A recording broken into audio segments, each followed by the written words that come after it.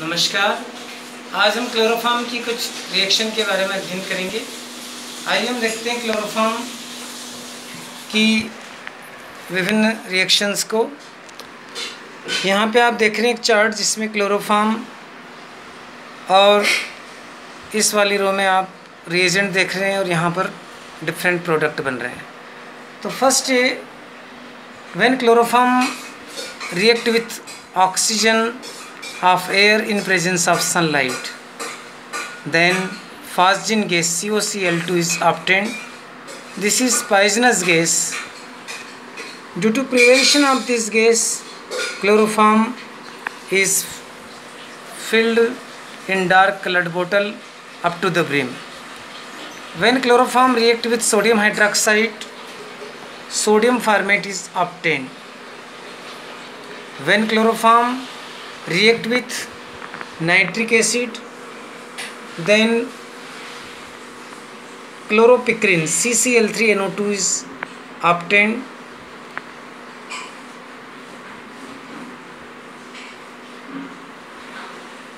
chloropicrin is used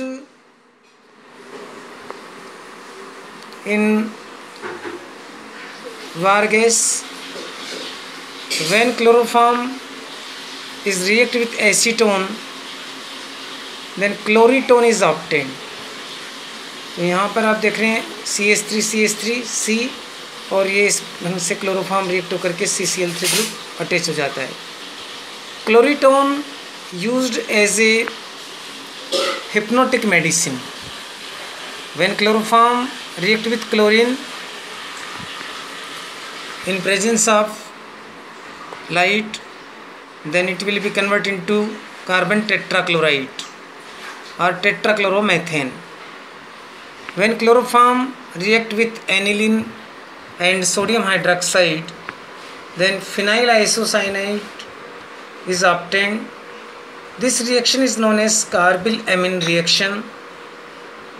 Phenyl isocyanate is a bad smell compound when chloroform react with phenol and sodium hydroxide then salicylaldehyde is obtained this reaction is known as Reimer Tiemann reaction तो यहाँ पर आप देख रहे हैं कि जो chloroform है उसमें carbyl reaction and Reimer Tiemann reaction एक इंपॉर्टेंट रिएक्शन से थैंक यू